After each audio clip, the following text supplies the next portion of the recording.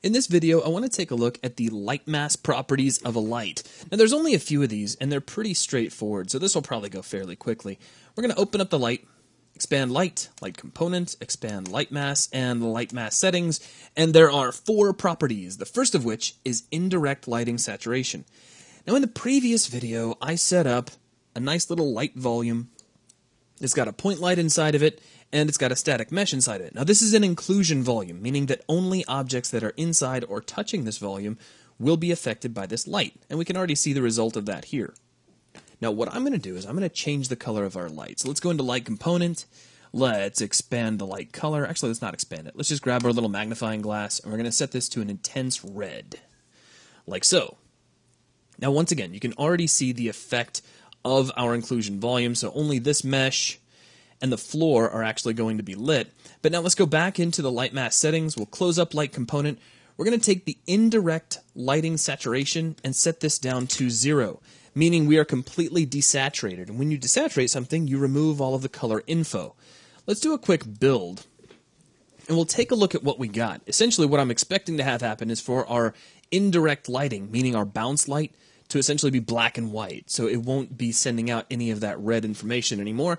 And if we close out Swarm and close our little warning, check it out.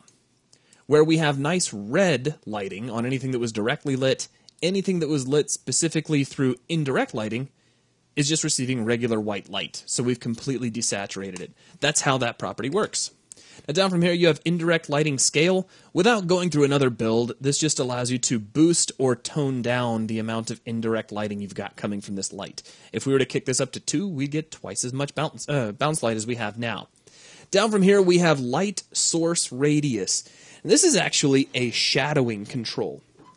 Have you ever shown a light, let's say if you have a really big flashlight with a really huge lens, or maybe even a spotlight, and you shine that on the wall and stick your hand in front of it, you ever notice that your hand, your shadow, actually gets a little bit fuzzy on the wall?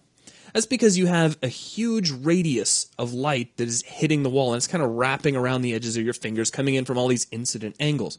However, if you have a tiny little light source, like an LED, you'll end up with really, really sharp shadows. And that's what you're simulating here as you increase your light source radius, your shadows are going to become softer. That's really all there is to it. Now, down from that, you have your shadow exponent, and that controls the fall off of that softening.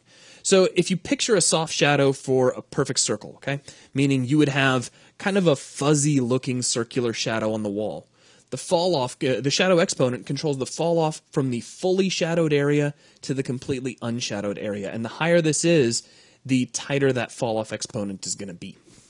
So that is a quick look at our Lightmass properties, which will wrap up this video. Thanks a lot.